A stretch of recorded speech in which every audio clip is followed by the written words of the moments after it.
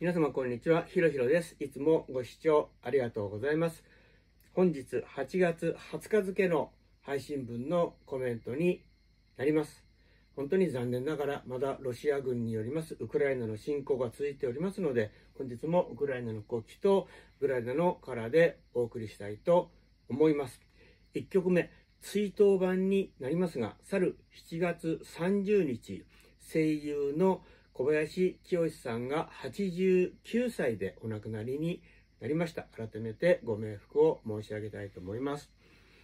小林さんは、えー、ルパン三世の中の次元大輔役の声として、えー、皆様に親しまれておりました。ということで今日は1曲目、追悼版といたしまして、ルパン三世のテーマをフルートで演奏したいと思います。音源は新興さんのフルート名曲集、えー、ですね。こちらアニメ名曲線からになります。そして2曲目。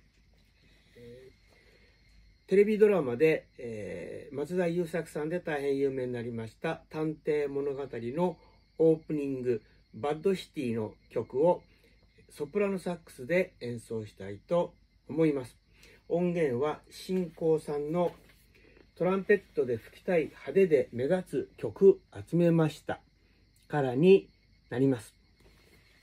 そして3曲目、ポップスから We Are the World をアルトサックスで演奏したいと思います。音源は YouTube からになります。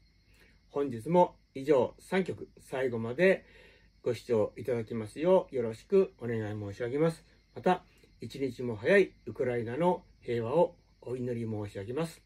それでは、ひろひろでした。最後までありがとうございました。